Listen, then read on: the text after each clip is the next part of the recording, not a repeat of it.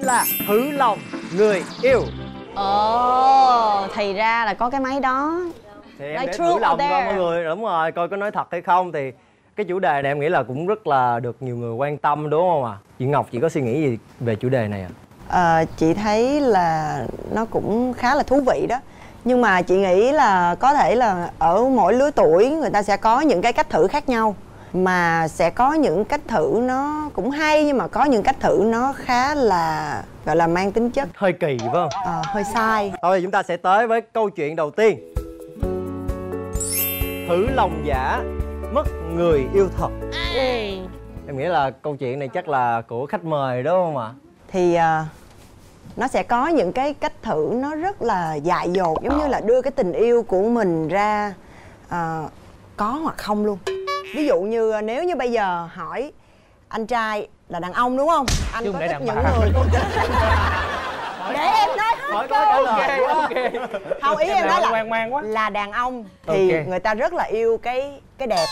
Phái đẹp. Ừ. yêu những cái đẹp đúng không? Oh yeah. vậy ví dụ nếu như bây giờ mà anh đã có người yêu anh đã có vợ rồi ví dụ vợ anh hoặc là người yêu anh thử anh là làm mai cho anh hay là thử một cái người nào đó rất là xinh đẹp và tán tỉnh anh nhưng mà là trong cái hành trình tán tỉnh đó là có có sự xuất hiện của người vợ không? Không. Không đúng không? Rồi nhưng ok. mà nhưng mà cái sự sắp đặt đó là do cái người người nữ làm. À.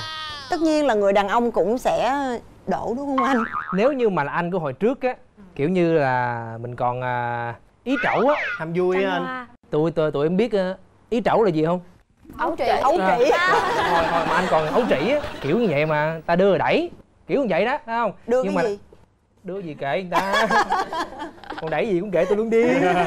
Nhưng mà quan trọng ở đây á là hồi xưa thì mình thoải mái trong cái mối quan hệ càng lúc càng lớn lên á thì là nó lại khác. Nhưng mà là ở ở trong cái trường hợp mà là của đúng trai luôn á thì trong những cái mối quan hệ khi mà là trai đã xác định là mình sẽ quen rồi thì trai không thể làm được việc đó. Các bạn biết lý do tại sao trai đưa hẳn facebook cho người ta luôn. Của trai á, đưa hẳn luôn. Em cần điện thoại của anh phải không? Cầm luôn đi. Anh giấu không có giỏi anh rất là dở luôn cho nên là tốt nhất là mình cứ chơi bài ngửa người từ lúc đầu là khỏi suy nghĩ. Nhưng mà thật ra thì á hả em thấy những người đàn ông như anh ít lắm. Ngày xưa em yêu á là tình yêu đối với em như một màu hồng vậy mặc dù có thể là người ta hả giấu mình rất là nhiều điều giấu mình đủ thứ luôn nhưng mà bản thân em cũng không không kiểu như mình không muốn tìm hiểu. Vì một khi mà họ đã muốn giấu rồi mà bây giờ mình có tìm thì tất nhiên là cái tình yêu đó nó sẽ không còn đẹp nữa. Vậy cái nguyên nhân nào nguyên do đâu mà chị bước tới cái chuyện là mình sẽ thử lòng cái người yêu đó của mình để mình lòi ra những cái chuyện mình không muốn thấy không muốn biết. Thật ra thì mình cũng đã gợn gợn một chút xíu nhưng mà nhưng mà mình nghĩ là ờ thôi kệ đi chắc không có gì đâu. Thì cũng giống như là một cái dại là mình đem một người khác ra để mà mình mình rủ một cô bạn đi chơi hay gì đó. Rồi ờ, xong ờ, rốt cuộc là hai người làm quen chát chít với nhau Ủa cái gì đâu có dạy đâu Ngọc. Nó là khôn đó chứ. Tại vì sau pháp thử đó mình sẽ biết được là người đó của mình như thế nào. Đấy là thông minh đấy chứ. Bởi vì em bảo là cái chữ gợn gợn Chị nghĩ cái chữ gợn gợn của em dịch ra Đó chính là sự nhạy cảm á Và chịu trực giác của mình rất là mạnh. Cái đó em phải mừng chứ đúng không? Tại vì mình đã có một cái hành động rất là thông minh. Nhưng mà chị có những trường hợp là nếu như mà người phụ nữ á có những lúc người ta đang rất là yêu đang rất là vui nhưng mà người ta vẫn không tin. Rồi ví dụ ngay lúc đó người ta vẫn thử cái người yêu của họ mà đàn ông thì họ rất là yêu cái đẹp, giống như em nói rồi, lỡ như cái người đó đẹp quá hay là có sức hút quá, rồi họ lại mũi lòng, ngã lòng thì sao? Mặc dù trong mối quan hệ giữa hai người đang rất là vui, thì em nghĩ là cũng, nếu như mà nó rõ ràng quá thì mình nên thử, còn nếu không thì thôi, mình thử để làm gì? Không phải tất cả mọi phép thử nào cũng cho ra một cái kết cục đau buồn giống như Bảo Ngọc. Ờ, giống như là khi mà chị đã trải qua rất là nhiều những cái mối tình làm chị lên bờ xuống ruộng vì vô tình xem tin nhắn của người ta lúc người ta ngủ thì thấy được người ta đang nhắn với ai đó rất là thấm thiết mà trong lòng người ta lúc nào cũng nói là em là người duy nhất. Mình vỡ ra à cái phép thử này của mình rất là có giá trị vì mình biết được là mình có phải là người duy nhất hay không. Và khi mà chị đeo cái nhẫn này vào nhẫn đính hôn thì á chị cũng có một lần thấy được người uh, hôn phu của chị để cái điện thoại để vô tình để lại Việt Nam vì anh ta phải đi đi về nước thì chị mới nói là không cái này không được. Mình mà coi một cái nó là mình chắc chắn là cái ký ức kia hiện và là bể nữa là phải trả nhẫn nữa nhưng mà không mình vẫn phải thử. Dù là mọi thứ đã được ổn định rồi mình đã đeo nhẫn vào rồi và sắp đám cưới là mình vẫn phải thử. Thế là lấy cái điện thoại ra xem. Ồ may quá tất cả các cái tin nhắn trong sạch. Ngay cả với người yêu cũ trong sạch. Đó mình nói ok vậy là mình có nên thử hay không? Có chứ. Nếu như lúc đó mình mở ra mình thấy là anh không muốn cưới em đâu anh chỉ thích Diên Tuấn Kiệt thôi. Tự nhiên mình đã thành một một cái cái trò đùa đó thì mình cứ phải thử. Nếu mình thích thử, mình là mình thỏa mãn cái sự tò mò của mình. Tại sao có sự tò mò? Vì mình không thấy được kết quả ổn định như mình mong muốn. Mình chưa thật sự chắc chắn, nhưng khi tiềm thức đã nói là chắc chắn, clear thì không bao giờ trong đời chị sẽ thử nữa. Vì mình đã tin tưởng hoàn toàn, nhưng khi mà bảo ngọc có một sự thôi thúc, hình như có cái gì đó sai sai ở đây, có nên thử không ta? Có nên bước vào căn phòng đó không ta? Có nghĩa là em vẫn còn tò mò.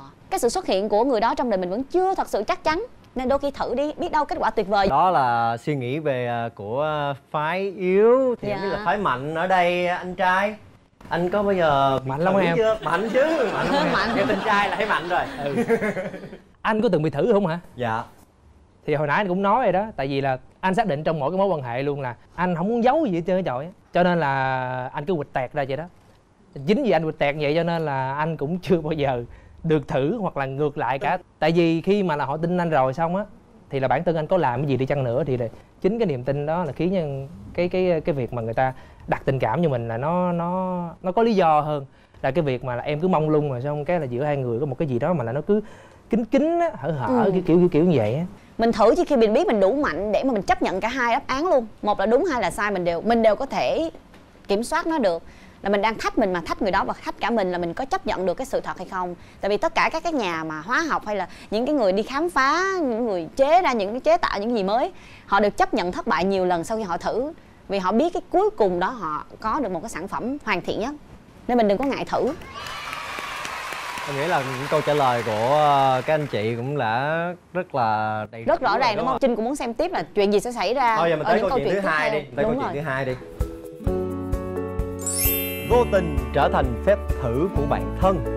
ô sao rối quá vậy là sao Ủa là sao Cụ thể câu chuyện như thế nào câu chuyện À. của à của À, em Ellie. Ellie. Rồi mời em. khai sáng đi em ra là thật ra là cũng không có ý định thử mà vô tình đưa em đi thì lại thành thử thôi chứ còn bạn thân không có ý định là mang em đi thử có nghĩa là cái hôm đấy là buổi tối bạn em có rủ em đi chơi và đi chơi cùng với người yêu của bạn ý. Ừ. thế là hôm đấy đi chơi thì ăn đi chơi thì cũng bình thường thôi tại em không bao giờ để ý người yêu bạn đâu. Thế nên là đến tối về tự nhiên bạn em nhắn tin cho em. Mày ơi tao không tin được.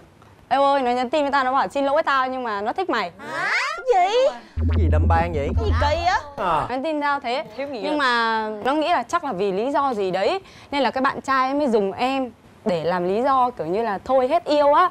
À, em cũng nghĩ suy nghĩ ở chắc phim Hàn Quốc mà.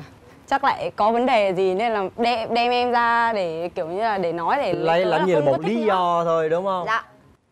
Thế xong rồi là hai ngày sau có nghĩa hai đứa đấy nó cứ im lặng nhau thôi. Hai ngày sau em mới phát hiện là có tin nhắn là tin nhắn chờ. Em vào xem thì có nghĩa là nhắn tin tán tỉnh kêu là thích em này kia em ấy nhắn tin luôn cho bạn em bảo ôi mày nó nhắn tin cho tao thật. Em mới hỏi bạn em là ủa thế mày muốn tao xử nó thế nào thật ra là cái lúc em nhắn tin cho bạn em như thế thì là em đã nhắn tin chửi thằng kia một trận rồi. Là kiểu như ý là tại sao mà kiểu như nếu mà không phải em á thì cũng là người khác thôi. Nên là nhưng được cái là bạn em thì ờ, luôn tin tưởng em. Và sau cái ngày hôm đấy á thì hai đứa chia tay trong êm đẹp luôn. Sau hôm đấy bạn em cũng có nhắn tin nói em là ờ may là có mày thì ờ, kiểu như là mới biết được là bộ mặt con người của người yêu tao nó như thế nào á. Nó có đáng để cho tao trân trọng và yêu thương không á. Ừ. thì ờ, chuyện tình kết thúc Ừ. thế là em là vô tình thôi chứ không phải là bạn em cũng không có ý định Nghĩa là em cũng không có ý đúng Dạ. không? Biết là các vị à, cố vấn viên cũng là khách mời mình có à, chia sẻ gì không ạ? mỗi lần nghe chị cố vấn viên thấy thấy căng thẳng lắm nha có chị chỉ thích cái cảm giác như gia đình của mình người họp gia đình đâu sao sao đâu Ờ, các hỏi anh chị có Đó. chia sẻ gì với mình đang họp gia đình. không ạ? Nói chuyện nó quá rõ ràng rồi thấy không Dạ, cái bạn nam đó thực sự là không được. kiểu như gió chiều nào thì đó đó. Triết. không một từ thôi. Triệt Theo như quan điểm của em á là em nghĩ là người đàn ông là mình thứ nhất là không bao giờ được đụng vô bạn thân của bồ. Quá đàn ông này kìa ơi. Tuyệt tuyệt vời. Không bao giờ ngay cả ngay cả ví dụ như em có chia tay bạn đó rồi thì em cũng sẽ không bao giờ đụng vô những cái người bạn của bạn đó. được tiếp đi đệ tuyệt vời quá. Tiếp đi đệ rồi sao nữa? Sao nữa? Dạ nên mình tự thôi miên rằng là mọi việc vẫn ổn. Dạ đúng rồi. Đúng không? Dạ nhưng mà nếu mà không thử như vậy thì lỡ mà cái bạn trai đấy thực sự có cái gì đó giấu mình ở phía sau sao thì mình cái nỗi đau đó nó cứ kéo dài như vậy. Đến lúc mà mình phát hiện được thì đã, lúc đấy tình đã đậm sâu rồi thì sẽ khó để mà mà mà có thể ấy lại vượt qua được ạ. Thế này nhá bây giờ chị nói là ở dưới cái nệm này có một con gián chết nhưng em rất là sợ gián vậy nếu thói theo được. nu nu với Em- ca ca em- là em các bạn sẽ sợ. không mở lên đúng không các bạn Dạ, sẽ dạ. không mở ra bạn biết là con gián đó có thể có một con gián ở đó thật hoặc là nó dọa mình hoặc là có một con gián chết thật nhưng nếu như là thử ngay bây giờ thì ít nhất tối nay mình ngủ yên là không có con gián nào gì đó hết nó chỉ dọa mình thôi hoặc là em mở ra em thấy con gián chết thật hoặc thậm chí là hai ba con gián mà nó bị nó bị rã ra nữa và em phát hiện ra nếu như em đã không thấy con gián và em không tự đối diện với con gián đó thì nó cũng là một con gián ở dưới đó. Từ ngày này qua ngày khác năm này qua năm khác trong cái nhà của em mà thậm chí ở trong cái đầu của em là có một con gián không biết có con gián hay không.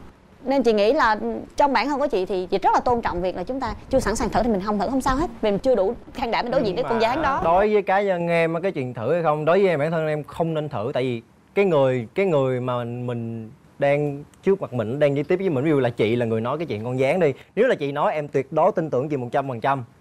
Thì em sẽ không không có gì phải thử. Tại đối với em cái chuyện thử đó nó cũng không có quan trọng lắm. Nếu như mà ví dụ như người đàn ông có giấu tới cỡ nào thì cái gì mà cái cái, cái câu là đi đêm có ngày gặp ma đúng không? Thì chắc chắn là cái chuyện gì giấu hoài giấu hoài thì cũng sẽ tự lòi ra được thôi. Thì cái khi đó trực giác của người phụ nữ sẽ luôn mách bảo được rằng là cái người đàn ông đó có đang giấu mình hay không mà không cần thử.